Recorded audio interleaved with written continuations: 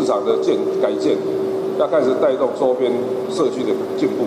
曾期盼北市第一果菜市场的改建能带动社区发展，前台北市长柯文哲如今因为金华城容积案被检联调查，也让柯过去其他争议案再度被外界讨论。柯文哲居然用减项发包，把部分的楼层减下，让中工顺利得标之后，在合约上面直接记载，未来要把楼层直接盖回去，五十亿的工程预算要直接给中工哦，这难道没有这个？官商勾结图利的嫌疑吗？会这么说，是因为第一国菜市场改建案当时也是由威金集团旗下的中华工程得标。议员推测，雨果市场有可能是柯文哲下个未报单。这种虚无缥缈的标签，大家已经看得非常的多。雨果的市场明明已经在议会讨论多时，而且蓝绿连调查小组成立的几率，呃都不愿意成立，这摆明就是无限上纲，以及是欲加之罪。何患无辞？民众党全力捍卫柯文哲清白，但眼下除了台之光、北市科、金华城三大案，